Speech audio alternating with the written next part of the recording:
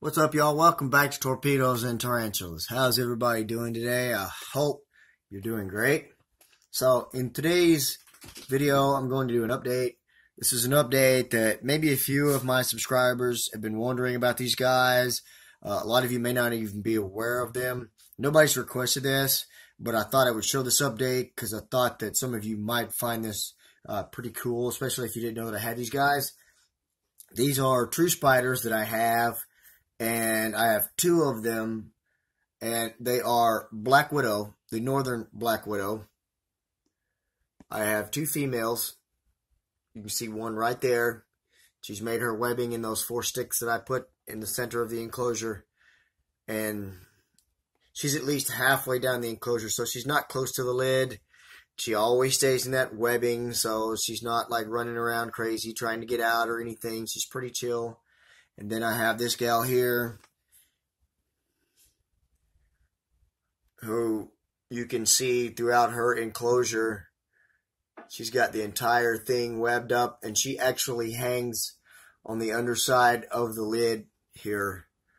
And she's always got that all webbed up and I actually have to like lift the lid up, get the scissors out, lift the lid up a little bit, snip web, lift, snip web, lift, snip web to keep from freaking her out because she webs the top.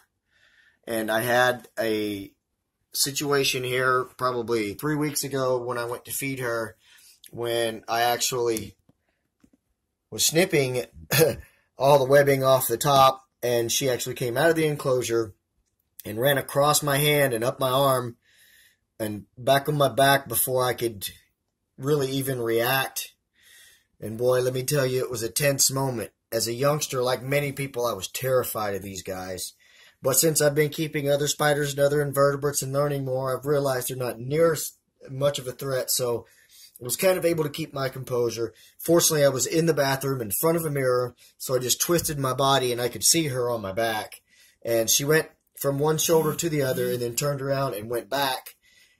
And that's when she made a run for my head and she ran up my neck, across my cheek, and I saw her coming and I closed my eyelid and she ran straight across my right eye and came to a stop on my forehead. Let me tell you, that takes balls of steel to be able to not freak out and dance around slapping yourself like a little girl like I wanted to. But instead, I just let her go until she stopped and she came to a stop on my forehead. And then I thought, oh shit, now what do I do?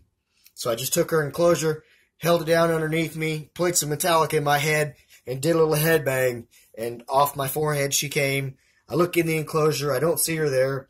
I start looking on the counter and on the floor. I don't see her. Now I'm thinking, oh, great. I've got this Black Widow loose.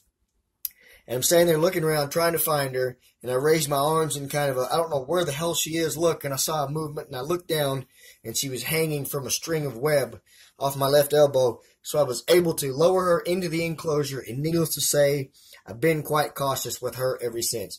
That other gal has not given me any problems because she hangs down low. This one hangs around up top. But fortunately, like I said, I knew that unless there was pressure put on her or anything like that, she was no threat to me. I just wanted to let her run until she stopped. And finally, we got the situation under control. And I got her back in there. And I got her fed. And since I'm getting long winded now, speaking of feeding, that's what we're going to try to do tonight. And we'll finish up this update. Let me get some roaches. All right, so first up, we will feed Little Miss Troublemaker if I can hold on to the roach. Now, these guys aren't necessarily ambush predators or or hunters really. They rely on trapping their prey, and what I will usually do is kind of cripple the roach and then just put it into the webbing and then she does the rest. As you can see, she just starts throwing webbing all over her prey so that it can't move. And she'll go in here pretty quick and give it a bite to incapacitate it. And then she will continue to wrap it. And when she's ready, she will eat. And this wrapping is kind of kind of the purpose of like saran wrap. She can wrap her prey up and keep it for days and go back to it when she's ready to eat again a little bit more. So these guys are very fascinating, and I've learned that first of all, they're not near the threat that everybody thinks that they are, and second of all, they're not fatal unless you're a roach. There's never been any recorded deaths that I know of of black widow bites, but they can be very uncomfortable and painful and unpleasant. So, needless to say, I'm not terrified of these guys anymore, but I still don't want to get bitten by one. You can see that really awesome striping pattern on the on her back and that trademark hourglass on, on the underside of her abdomen. I'm waiting for her to, to deliver a bite. It's so subtle, though, unlike a tarantula. There she goes. There it is, right there in the back of the neck. That's the bite that's going to incapacitate it. So there you go. There's the first one fed. By the way, I want to ask you guys to give her a name down in the comments if you're interested. This is the one that made a jailbreak and ran up my arm, across my shoulders, up my face. So, if you want to give some suggestions for names, I will welcome them. We will leave her alone to eat now and feed the other one. All right, and so here we go with number two.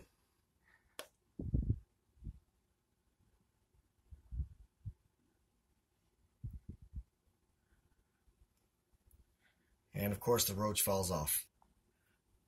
Yeah, it can be a bit trickier feeding this this gal here, seeing as she has such a smaller area of webbing.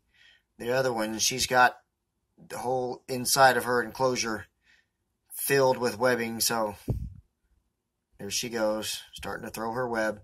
Unfortunately, she's on the underside. She really needs to be up top.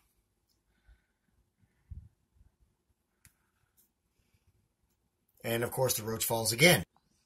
So the problem with this girl is she is on the underside of her webbing, so she is not as effective at wrapping her prey up being on the underside as the other one, but I'm trying to cripple the roach enough where it will stay in the webbing, and I can't seem to do it. Alright guys, if something doesn't happen pretty quick with this gal, I'm going to quit boring you, because she's obviously not giving the same reaction as the other one.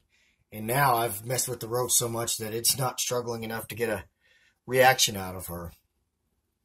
So, unfortunately, we may not get to see a repeat of the first one. But, whatever. It is what it is. She'll end up eating, as the roach starts to squirm, she will end up eating this roach as as will the other gal. Uh, for any of those of you who have been wondering how my black widows were doing, you see now they're doing great. Um, I did mention that there were three other YouTubers that have siblings to these Black Widows, which I actually sent to them. I'm hoping maybe this summer I can find a male or two and maybe feed these girls. If not, these girls will be my pets until the day they die. So I hope you enjoyed this video. If you did, give me a, a thumbs up and a comment. If there was anything that you didn't like, let me know in the comments. I hope you guys take care of yourselves and each other. Remember to have a great day, a great night, wherever you're at. Take care of yourselves and each other, and God bless.